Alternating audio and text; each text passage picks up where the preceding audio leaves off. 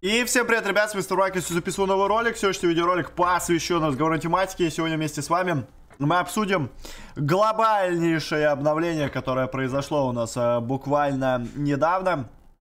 Это обнова, связанная с изменением вида и отображения дрона Кризис и Оракул. Обсудим, что это такое, для чего это вообще делается и зачем добавляются такие вещи в нашу игру. Если вы ждали этот видеоролик, то обязательно не забывайте поддерживать данный видос лайком.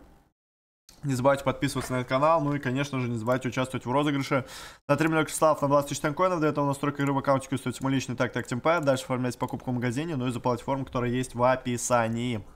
Что же касаемо нашего нового введения, то у нас появилось э, новое отображение э, дрона Кризис и дрона Оракул.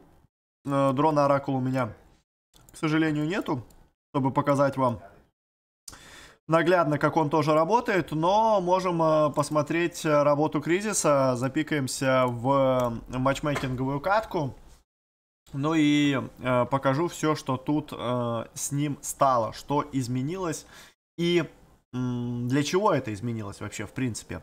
Да, то есть у нас теперь под каждым э, припасом э, есть дополнительное отображение э, его ну, можно так сказать, вида. О, с нами, с нами, кстати, шафт трофейный в катке. Э, то есть я, например, нажимаю броню, у меня сразу показывается, например, купол. Нажимаю ДДшку, у меня сразу такая, типа, снарядочка вылетает в виде анимации, нитра.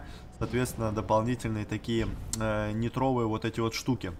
Э, для чего это сделано? В первую очередь, я думаю, что это сделано для того, чтобы, например, на большом расстоянии, если вы стоите, да, э, от противника, эта подсветка будет э, показывать, да, на чем играет твой противник прямо сейчас, с каким припасом. То есть, вот, например, я с такого большого расстояния, я не вижу, например, на каком припасе находится оппонент. То есть, если он будет на кризисе, да, и будет э, прожимать тот или иной припас. То есть я с расстояния могу заметить, ага, он, например, там только что броню нажал. Либо он там вон ДДшку нажал, да, потому что у него там только что рельса вот такая вот выстреливала яркая. Э, то есть это своего рода дополнительная такая возможность э, в определенной ситуации понять на большом расстоянии, на каком припасе находится противник.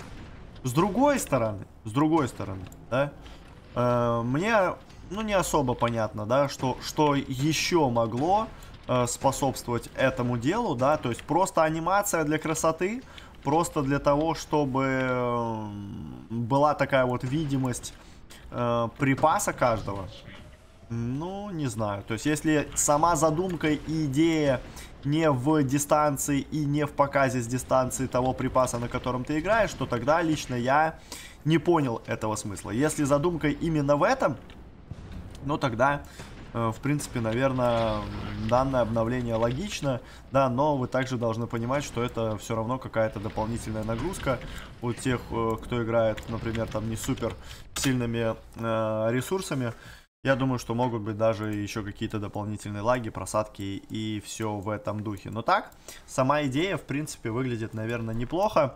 Э, оракула у меня, как я уже сказал, нету. Ну, а в целом, э, что касаемо этих спецэффектов, то только на эти два дрона эти спецэффекты и появились. Э, хотелось бы узнать вашу точку зрения по этому поводу. Что вы думаете по поводу вот такого вот изменения и дополнения? Как оно вам? Э, зашло оно вообще вам или не зашло, что вы для себя из этого получили, появился ли у вас какой-то дополнительный интерес, например, может играть на кризисе, да, с таким нововведением, и пользуетесь ли вы какими-то дополнительными возможностями за счет этой обновы. Пишите свое мнение по этому поводу в комментариях, поддержите видос лайком, если вам понравился, подписывайтесь на канал, если вы еще вдруг не подписаны, ну и участвуйте в розыгрыше, у меня, друзья, на этом все, всем спасибо за просмотр, всем удачи и всем пока.